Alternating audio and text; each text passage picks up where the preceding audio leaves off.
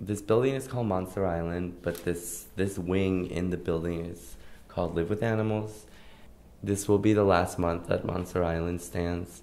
For the past four and a half years since I moved to New York, this has been what I call my home. Feeling a little lost and wondering, like, you know, losing the space and having my friends, you know, we, this is our clubhouse. So I guess the shoe was like another fairy tale for Cinderella when she doesn't have enough time. What is she to do next? But at the end, you know, she leaves the party without her shoe and still is the princess of everyone's dreams.